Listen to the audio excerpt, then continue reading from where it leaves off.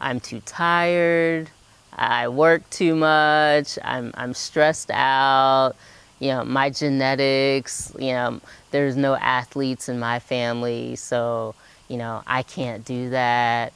I'm gonna wait till I'm at a better, healthier weight, then I'll start working out.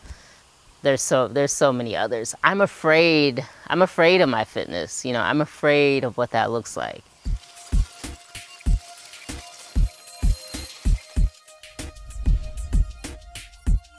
So what I tell people is if they say they don't have time, which is the most common excuse I, he I hear, I don't have time, I work too much. We all work, we, we all work. And so I say, write down your schedule for the day. And when people see their schedule written down, they realize how much time they actually have in the day. Most people work eight to 10 hours a day. That leaves, what, 16 hours left. You sleep seven to eight hours, whatever that is for you. You've got some more hours in the day that you can take half an hour to an hour to work out. And then you find what's your optimal time frame, you know, time of day to work out. Um, for one attendee, that meant that she worked, you know, a night job from 4 p.m. to midnight and she said, I don't have time because I work from four to midnight and then I have to go to bed.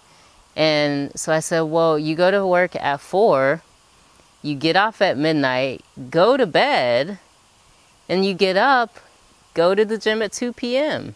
That gives you time to work out and then go straight to work and you're energized and ready for work. So sometimes you just have to look at where your priorities lie and have somebody that can help you be realistic with what those priorities are.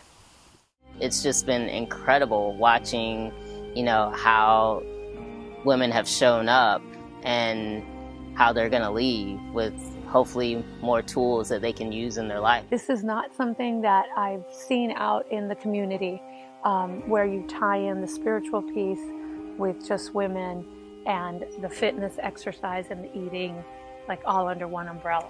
So, yes, come join us. It'll be a blast.